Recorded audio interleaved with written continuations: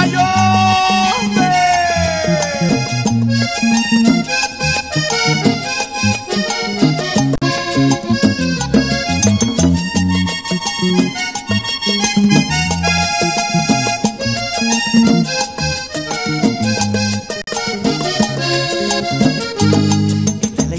De un buen muchacho que había en mi pueblo. Con esa sangre de aventurero y de soñador. Que como tanto se fue de aquí para buscar fortuna. Con la esperanza de ser importante para su región. En dos o tres horas llega la niña Mencha, mamá. La niña Mencha, hoy. ¿Y tú cómo lo supiste? Porque me mandaron a llamar para que manejara uno de los carros. Parece que trae bastantes maletas. Ajá. ¿Y tú qué haces ahí parado? Ve a vestirte y te vas inmediatamente. Ya sabes que el doctor Lavalle es cumplidísimo. Necesito la camisa nueva y el pantalón azul. Allá en el escaparate está todo planchado, mijo. Eh, Ahora que si la niña Mencha llega hoy, yo tendré que hacerme presente para lo que se ofrezca. Aerolíneas Nacionales anuncia la llegada de su vuelo 058 procedente de San Francisco. Ese es el vuelo. Llama a Kike y a las señoras. Están tomando algo ahí atrás. Como mande, don Enrique.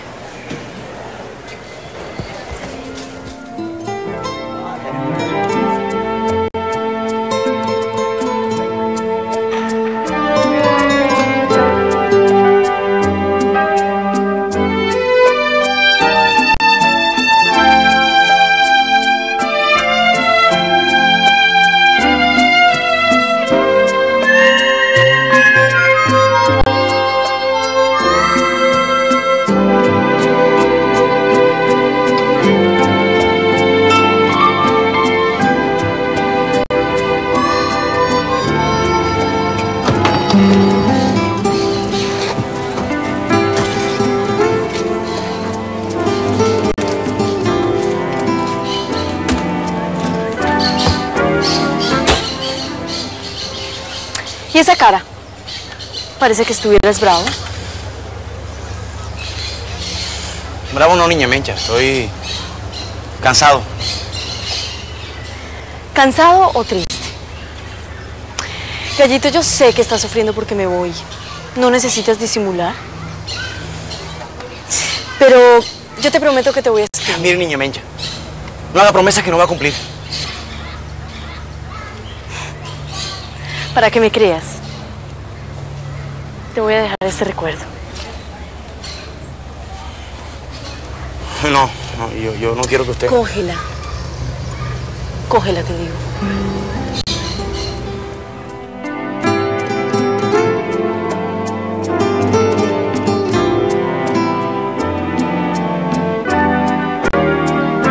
¿Y quién es ese pelado tan buen mozo que viene con ella?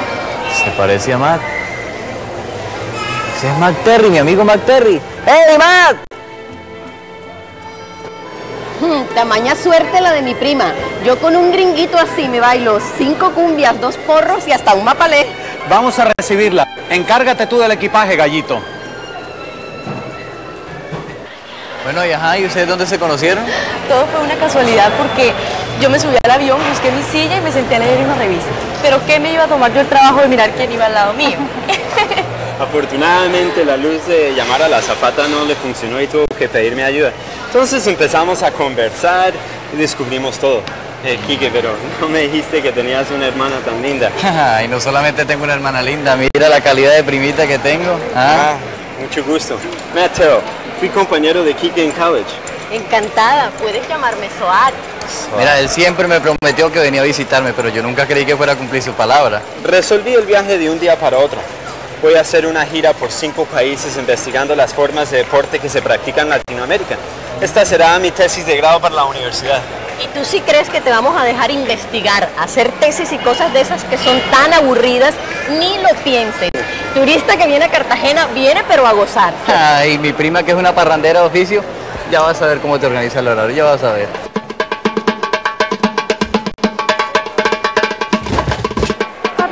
Equipaje? Ah, le di orden a Gallito para que lo reclamara. Él va en el otro carro camino a casa. El hijo de Tulia estaba aquí. ¿Y en dónde? ¿Por qué no lo vi?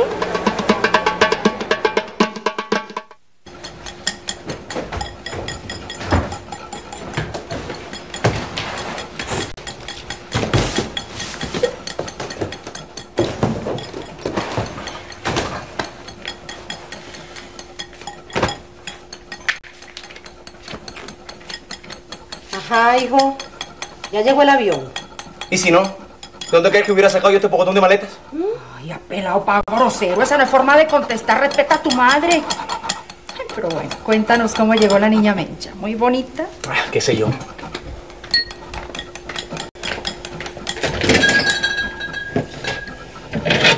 ¿Acaso tenía que haberla visto? Entonces, ¿para qué fuiste al aeropuerto? ¿Para qué fui? A cargar maletas, eso fui. Y además de todo el equipaje que trajo, se trajo un monicongo caribonito con los ojitos azules y arete en la oreja. Mira, mira. Ahora entiendo tus malas caras. Mira, gallito, tú puedes haber sido muy amigo de la niña, pero cuando los dos eran pelados. Pero con el tiempo las cosas cambian, hijo. ¡Llegaron!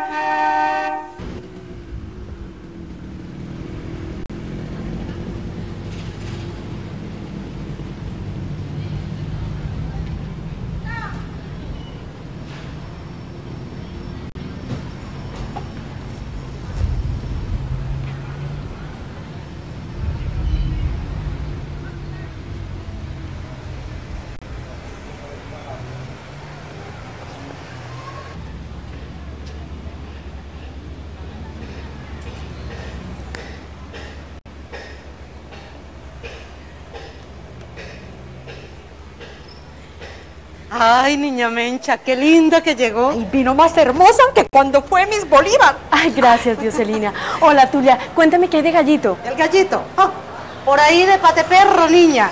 Igual de rebelde. ¿Cómo usted lo conoció? Dile que se deje saludar. Bueno, hay que lavar los carros y mandarlos a tanquear. Que Rafa y Gallito te ayuden, Melanio.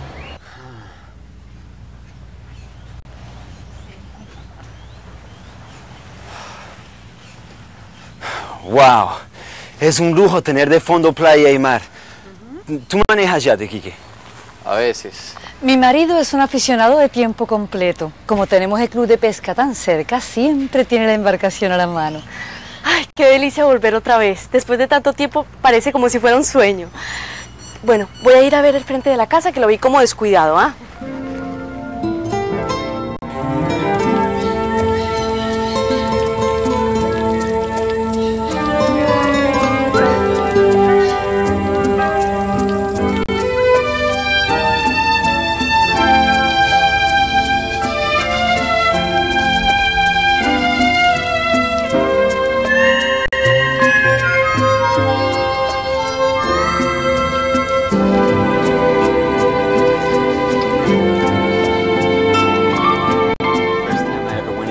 I tripped over the rope and I fell flat on my face in the middle of the ring.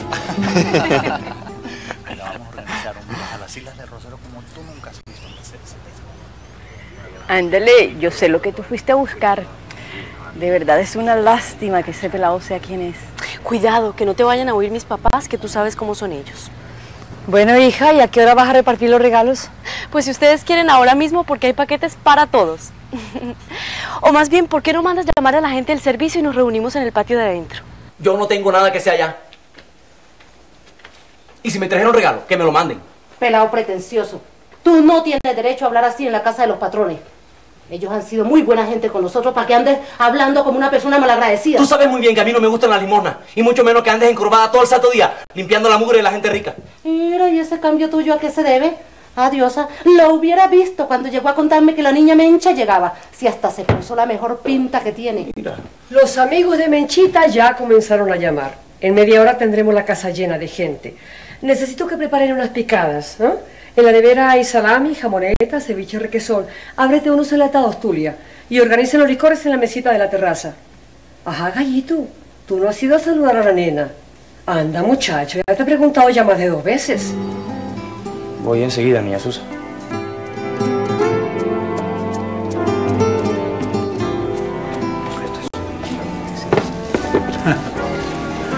A mi papá le busqué toda clase de bufandas italianas porque como cuando él va a la finca él se pone así su pinta de explorador. Y con botas y todo. Parece que viniera un safari. Ya lo vas a ver. Ah, qué linda. Esta es mi seda favorita. Ay, qué bueno.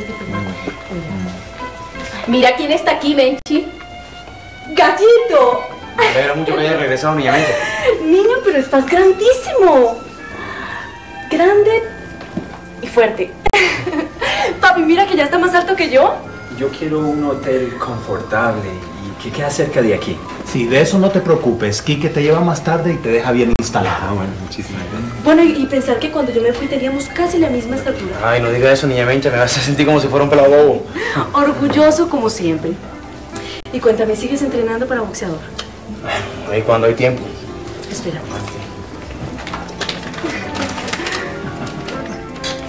Esto es para ti.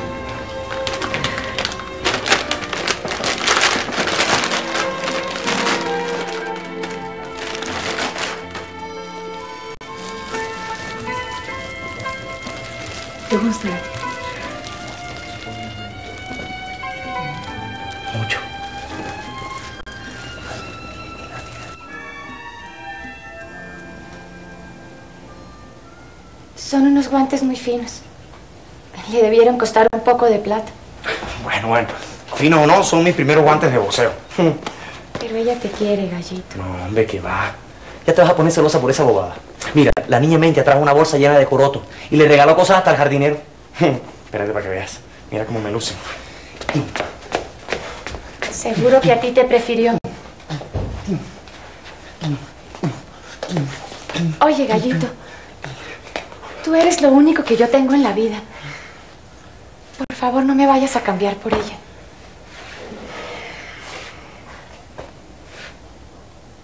Tonta.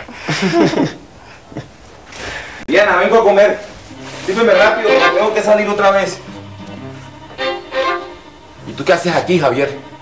Diana tiene prohibido recibir visitas cuando está sola en la casa. Él ya se iba. Solo vino a mostrarme unos guantes de boxeo que le trajeron de los Estados Unidos. Deja ver. Qué chéveres. Ah, ¿Y quién te lo regaló? La niña Mencha Lavalle, la hija de don Enrique. Ah, a ver, a ver, a ver quién gana esta. Ya, ¿Ah? deja la vaina, Pacho Durango. Ah. Dame los guantes, que me los des, te los Gallito digo. Ramírez, ¿no? Así es como te dicen en la calle, ¿no? Gallito Ramírez contra el Fercho Durango. Knockout en el primer round. Campeón declarado, el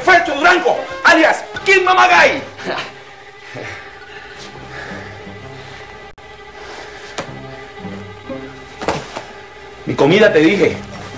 ¡Ay! Óyeme bien. No me vuelvas a tirar las cosas por la cara. No vuelvas a hacer eso. ¿Oíste? ¡Lárgate de aquí! ¡Vete de mi casa! Anda, gallito. No le has debido pegar así. Lo siento por ti, Diana. Pero estos guantes me los regalaron para usarlos. Y el próximo que se meta conmigo va a sufrir las consecuencias.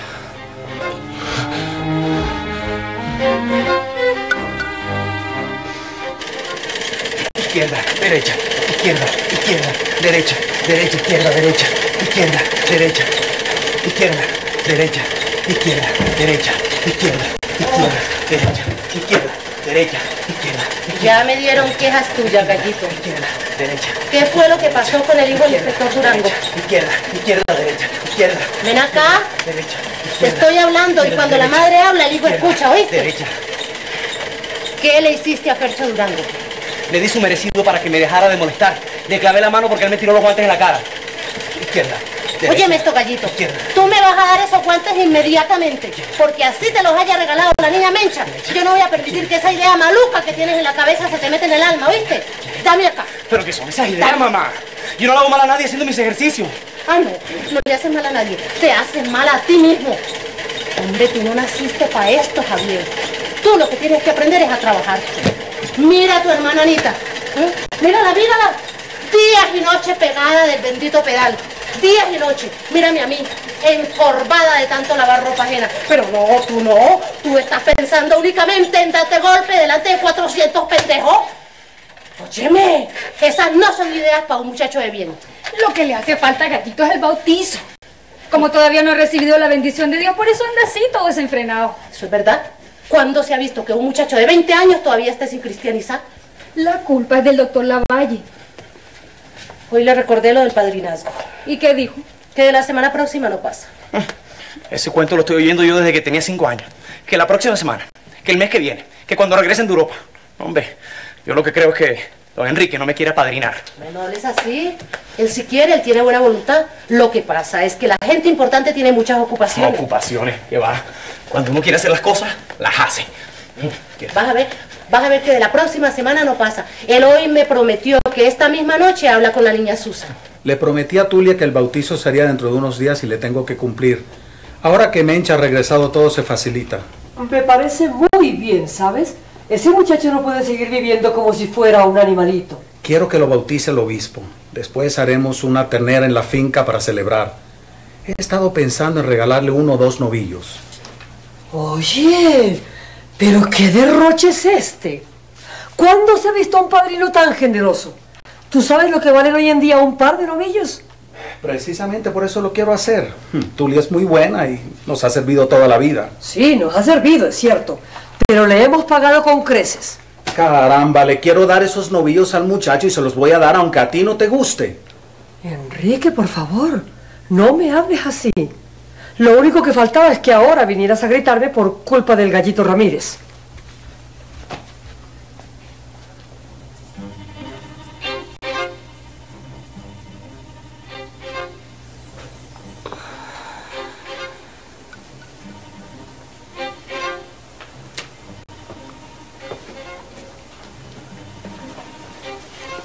¿Cómo sigue? Muy mal, ¿Por qué no me avisaron antes? porque él no lo permitió.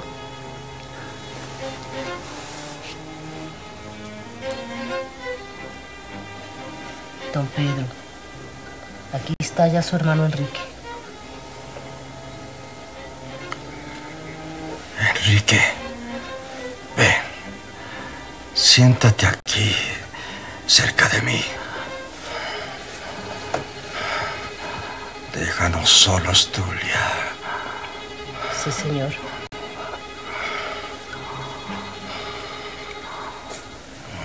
¿Cómo te sientes? Muy mal. Por eso te mandé llamar. Quiero que sepas algo, hermano.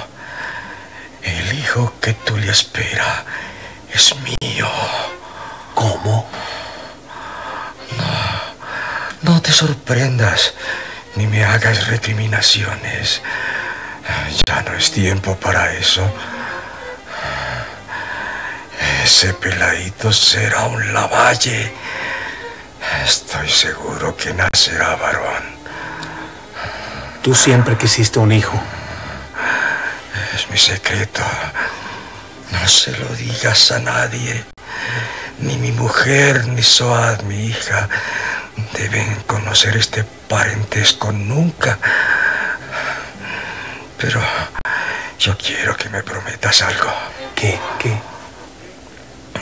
Protege a este muchachito. Júrame que lo convertirás en un hombre de bien.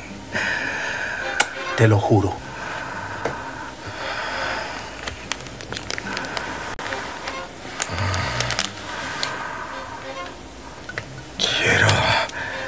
Conserves este documento y hagas uso legal de él.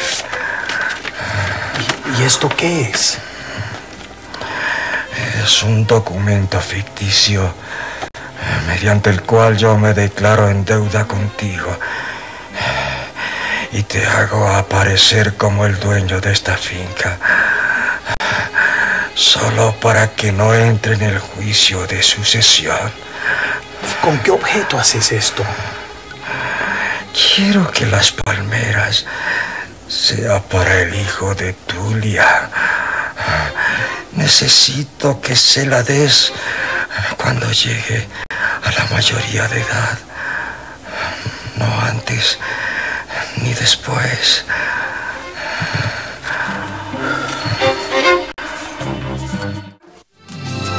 La historia de un buen muchacho que había en mi pueblo. Con esa sangre de aventurero y de soñador. Que como tanto se fue de aquí para buscar fortuna. Por la esperanza de ser importante para su región. Que la escuela y un acordeón fueron su amuleto. Que le daban la fortaleza para ganar. Pero el destino cambió su suerte y perdió su